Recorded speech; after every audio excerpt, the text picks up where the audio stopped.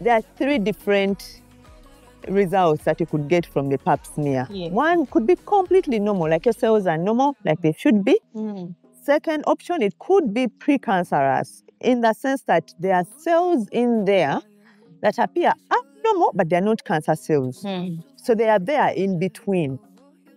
Now, those are cells, that's a very, very important stage because most of the cancer in developed countries is caught at that stage. Mm. It's caught when the cells are starting to misbehave, they are starting to change. They are not yet cancer, but they are changing. That is sometimes what you read on reports as precancerous lesions. Mm. And those that's where we want to get any potential cancer from. Pick it from there, treat it because those are very treatable. Those are very treatable. And the methods of treating them is very they are very easy and we'll be talking about those. Yeah. Then the third option is you, they could actually look at that pap smear and see abnormal cells, so cells that have changed completely. Mm. Yeah, so those are the three different options.